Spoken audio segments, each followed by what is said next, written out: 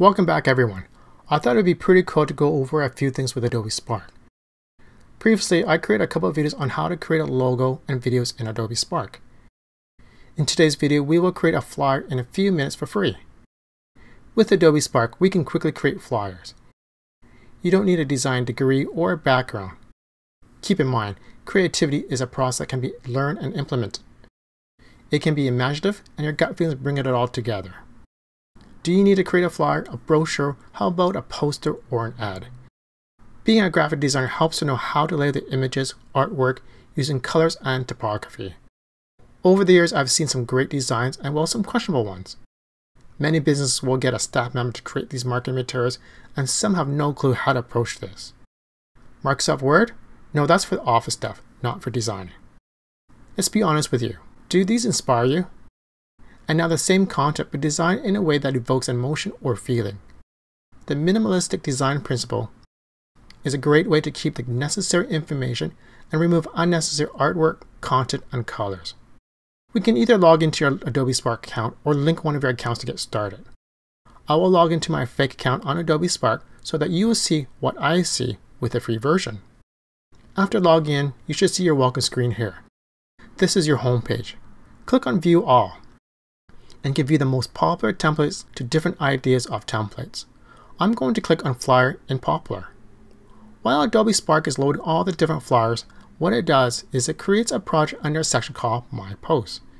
In the search field, you can expand the search by adding whatever you may be working on.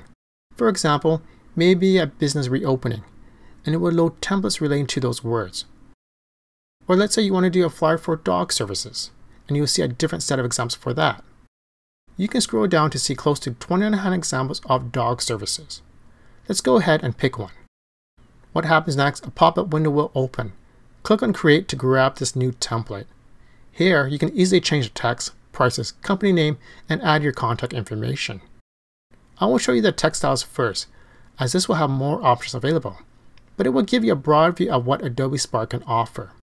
Click on the text once, and you should see an interface for text styles on the right hand side you have the option to select your primary or secondary text. Wherever you look, you have the opportunity to add your brand to the design. Unless you want to pay to upgrade Adobe Spark to add your logo, I suggest adding the logos as an image instead. You can change the type of fonts. You can also change the text alignment from left, center, or right justification, or make it all cap. You can change the font of sizes. You can also change the letter spacing, the space between each letter. Line spacing in design terms, this is called leading, the space between sentences or adjacent lines of type. Opacity is how much light you want to show through a text or an object.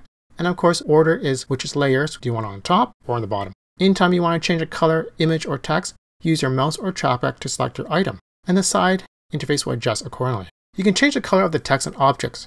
You can add a shape to your text. For example, if I want to add a circle to this text, it will create a circle for me. Or I can change it to be a hexagon on the fly. Or you can also go backwards and have no shape. Adding special effects to your text is a snap. I'll be honest here with you, adding the text effects could make it harder to read, so go easy on this one. The cool thing with Adobe Spark is that you can style to your text and spin the dial to a suggestion of text with special effects, shapes, and size. Let's click on the image now. You have the option to scale the image smaller or bigger or rotate the image. Flip it horizontally or vertically. You can either move the image freely or pin it to the background. By pinning it to the background, means it will be flush against the edges of your template. The next option is pretty cool because Adobe Spark will allow you to move the background. Depending on the image itself, some will be better than other. So in this case, the scenery behind the dog is gone. And if you want to replace the photo with a different picture, you can use copyright-free images, Pixabay or Unsplash, or use one of your own. Within the images panel, you can use filters by changing the color modes to different blend modes and adjustments. Like everything, you have an undo and a redo at the top of the page. The trash can is for deleting.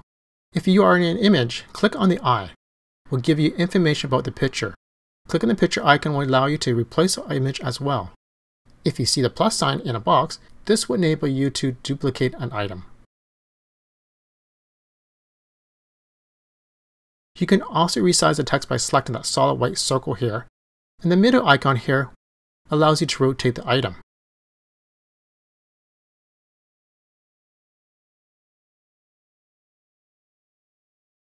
If you double click on the text, you can change your text. Hit return to add a new line, shift return to confirm, or click on done.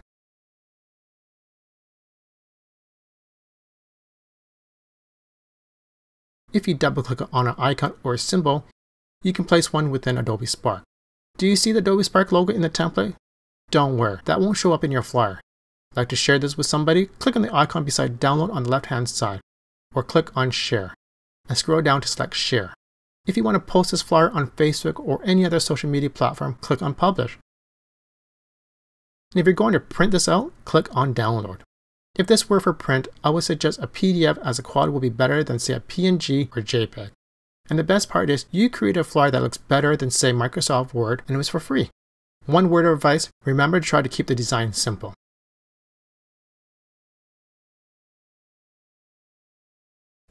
Thanks everyone for watching. If you enjoyed the video, like it, share it, and subscribe to the channel. And I will see you next time.